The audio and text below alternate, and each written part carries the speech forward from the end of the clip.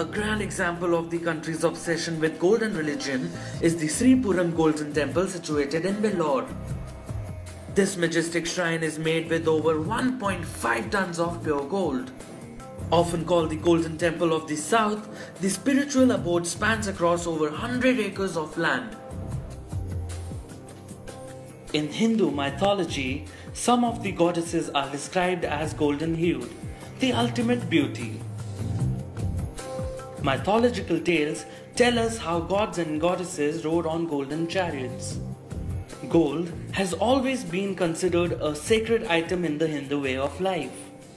The magnificent patterns carved on the temple walls and jewelry are nothing short of mythological stories gilded in gold.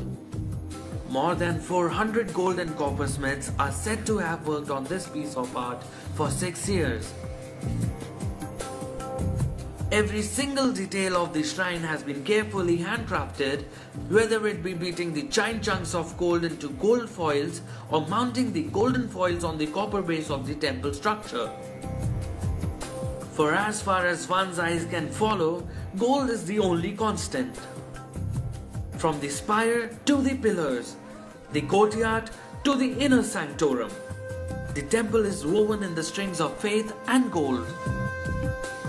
A 70 kg stone granite marble idol covered in gold of the principal deity of the temple, Sri Mahalakshmi is seated within the sanctum sanctorum. Thousands of devotees visit the temple every day to seek the goddess's golden blessings. Gold is an integral part of India's belief system, and the Sri Puram Golden Temple stands testimony to this.